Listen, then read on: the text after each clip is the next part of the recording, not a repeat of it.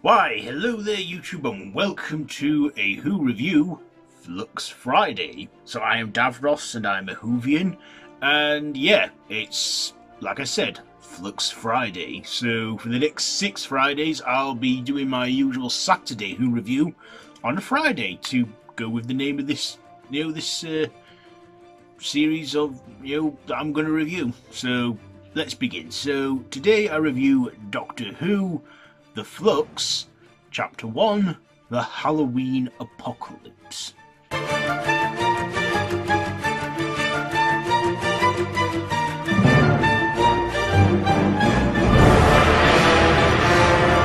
So this is the uh, first of a six-part um, story of Series 13 and uh, basically what it is, the Doctor and Yaz find themselves uh, in this whole situation where they're, well, fighting against this this dog-like alien called a Lupari, and his name is, um, his name is uh, Karvan Karvanista, and he heads to Earth to save a human Dan Lewis from Liverpool on Halloween night because he's saving him from an event called the Flux, and the Doctor has no idea what that is, the Flux. Whilst these two new villains, who are essentially the main antagonists for this series, uh, called Swarm and his sister Azure, um, you know, um, well, Swarm breaks out and regenerates, and Azure, Azure awakens from her you know, sleeper state or something, and they start to cause chaos whilst you know the whole universe begins to break apart due to the flux. And the Doctor has no idea what it is and must find out why if she is to save the universe. So that's pretty much the essential story. So what did I like? Well, I like that this was um, the series premiere, and I like that it was on taking place on Halloween. It took place on, I mean, it premiered on Halloween night as well in 2021. And I liked know, that we got a Halloween field episode, even though it wasn't a special. Uh, but yeah, I liked it. I also liked the introduction of Dan Lewis, played by John Bishop.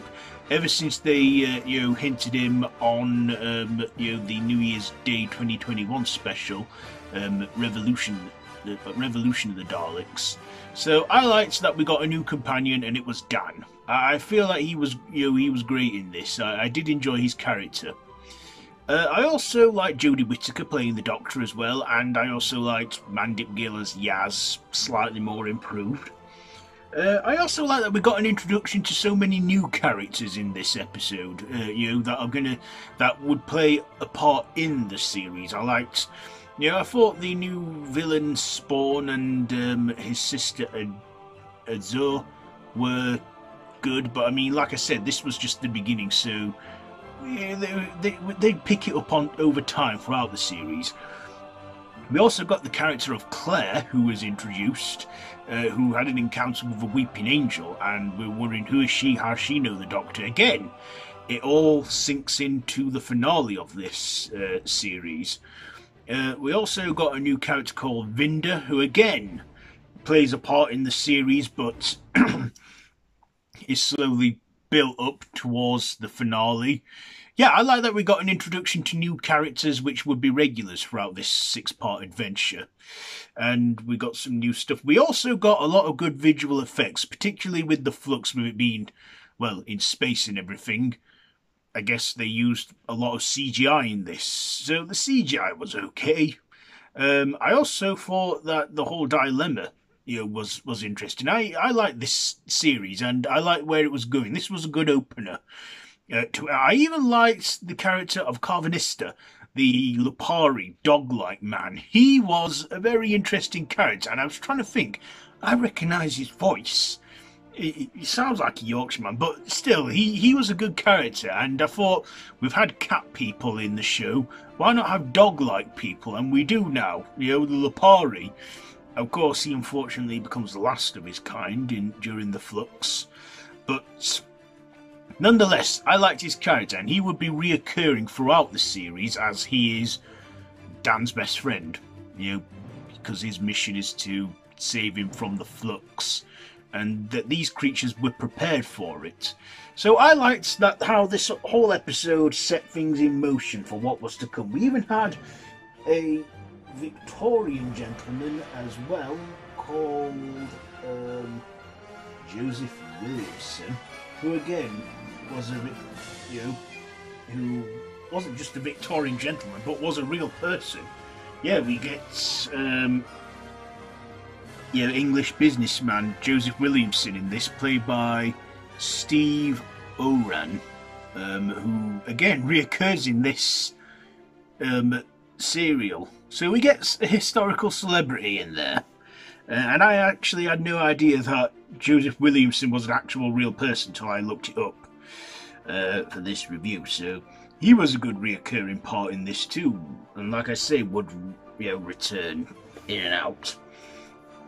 But uh, yeah, this, like I said, was the first of a six-part story. So of course they were going to set things up for what was to come in the series, and um, so they weren't going to tie any loose ends, obviously. They were going to end it on a cliffhanger, which of course they did do, but it didn't get me hyped for the next episode. I guess that's one negative. But I thought, oh, I've seen these cliffhangers so many times in Doctor Who.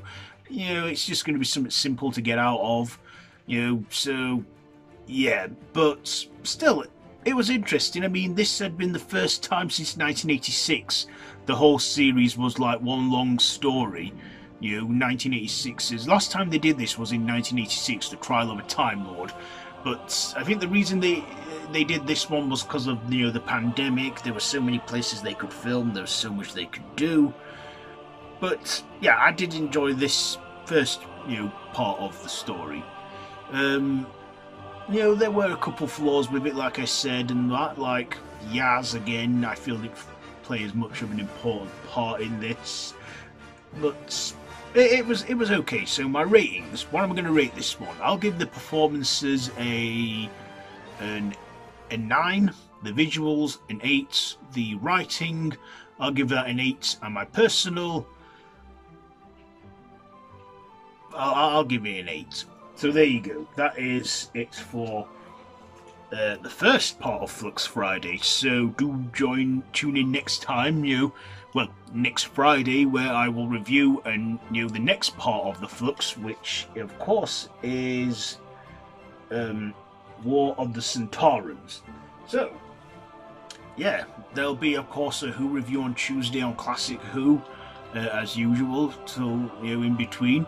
But yeah, if you like this video, be sure to give it a big thumbs up, share with your friends, feel free to subscribe to the channel if you haven't already, and to hit that notification bell. All my social media links I'll link down below in the description so you can check it all out. I've been DavRoss the Whovian. This has been a Who review. So until next time, run for your life.